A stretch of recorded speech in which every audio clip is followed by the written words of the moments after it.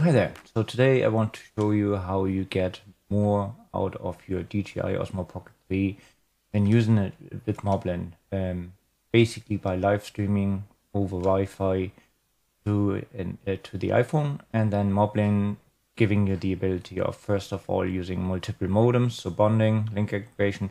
But the other thing that Moblin can do is it actually go and give you a higher bitrate of streaming than what MIMO does. MIMO has a maximum of 6000 kbps, and with Moblin we can exceed that and get better, better image quality.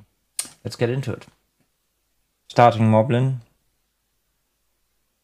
and the first thing we do is we go into RTP server and we create an RT, RTMP server. I'm gonna call this OP3.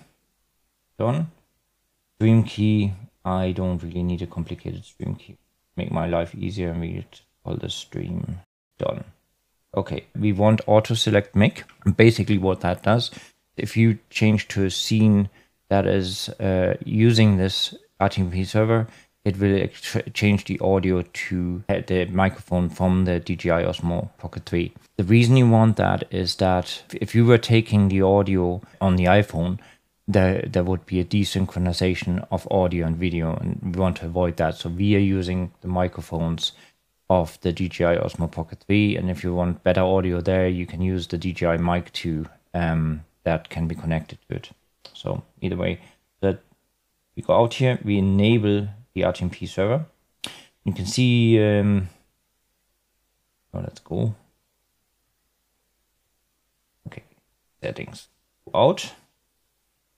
The next thing we need to do is we need to create a scene with this. So create scene, click in here. Done. Uh, video source, we select the OP3 RTMP server that we uh, just created. Go out of scenes, make sure it's enabled. It is. Settings. So the next thing we need to do is we will enable personal hotspot on this iPhone so that we can connect to Moblin. Personal hotspot. Um, Wi-Fi password I've just to one two three four one two three four. We'll enable this, and then my hotspot is called the M iPhone 14 Pro Max. So that's just something to remember. So that's done. We'll go back into Moblin. Okay. And now comes Moblin Magic. DJI devices. Create. Three. Um, SSID so that's the uh, the I was saying, and then the password I had one two four one two three four done, and now we need to select the device. Um, I didn't turn my my Pocket 3 on yet, so do that next.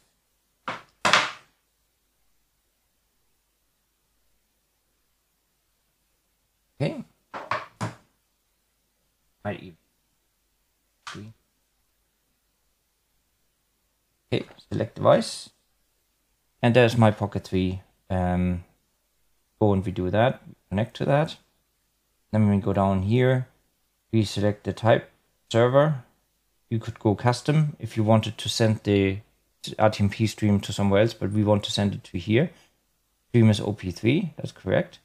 And then we need to select in here the 100, that's my cellular network. The 172 IP is my personal hotspot, so that's the one we want. And then you have resolution standard 1080p, but here comes the thing. So within MIMO, if you select HD, you get 6 megabit. But with Moblin, you can click here and we can go 10 megabit. We can even go more, but 10 is usually good. And the next thing is we can go and we can say auto restart live stream when broken. So if your DJI Osmo Pocket 3 disconnects from Moblin, Moblin will go and restart the RTMP stream automatically. You have to do nothing. We, we want that. And then we say start live stream. Prepare, preparing, preparing to stream. Setting up Wi-Fi. Streaming. OP3 RTMP connected. Great. So, and if you go now and you go out here and you can see I click on OP3 that's the view of my camera. Mob Moblin will take care of this and basically will reconnect if you lose your Wi-Fi connection or your RTMP stream ends or whatever.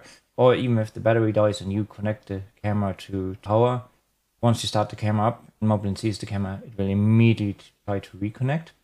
And you get on top of that you get a higher quality RTMP stream as if you had started the stream with DJI Mimo. This much easier application. Of MIMO can be a bit cumbersome. Basically, Moblin gives you much more control over the DJI Osmo Pocket 3. And this also applies to the Action 4 and the Action 3.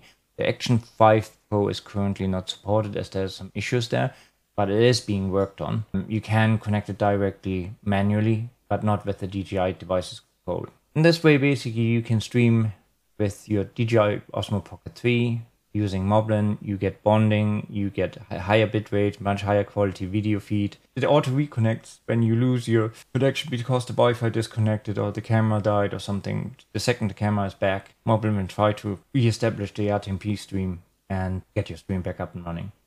I hope this helps. If so, leave us a like and uh, I'll see you in another one. Bye.